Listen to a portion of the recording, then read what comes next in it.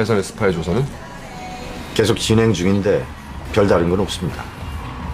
아 그리고 지난 일주일간 박 회장 부인 장유선 대표에 대한 사진 자료입니다.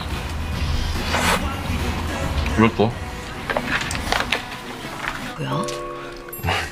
쓸데없는 걸 물어보고 그래요. 아, 이게 제일 궁금하죠. 이사님은 우리 셀러리맨이 올라갈 수 있는 최고점인데. 이거 캐치볼. 우리 아유 무슨 소리 하는 거야? 내가 다 봤지 내가.